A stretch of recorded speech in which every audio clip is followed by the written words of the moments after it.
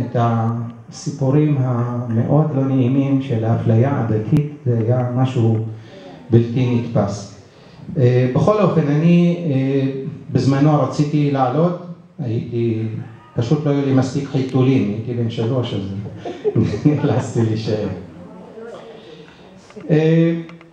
מה היה, מה היה בעיראק בשנת חמישים? בשנת חמישים הייתה מלוכה,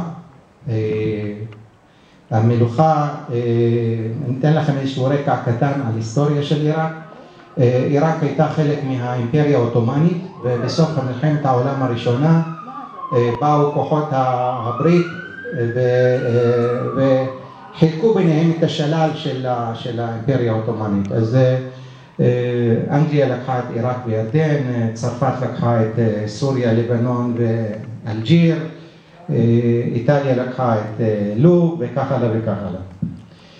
האנגלים אחרי זמן מסוים החליטו שהם רוצים לעשות בעיראק מלוכה, הביאו מישהו, קראו לו פייסל אל-אוול, פייסל הראשון, מערב הסעודית והמליכו אותו כמלך, הוא לא היה מיד מלך, לאט לאט היה אמיר בהתחלה, נכון? ואחר כך המליכו אותו.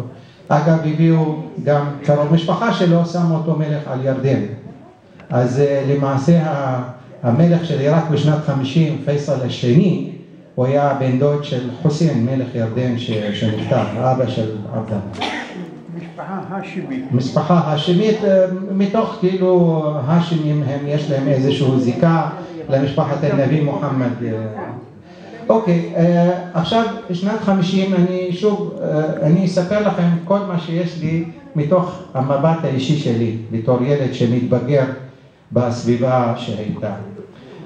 אני זוכר ילדות די מוגנת, חיינו בתוך גטו חברתי שאנחנו בחרנו לעצמנו, מעין בועה, יש לנו בית ספר של יהודים, יש לנו מועדון של יהודים, כל החברים של יהודים, גרנו בשכונה של יהודים, אנחנו עברנו אחר כך לשכונת בטאווין, שאולי גם שמעתם, ונולד לי עוד אח, היינו כבר ארבעה, אבא שלי המשיך לעבוד, ואימא שלי הייתה עקרת בית, והיה לנו גם עוזרת כל הזמן, היינו, באמת לא, לא היה חסר לנו כלום.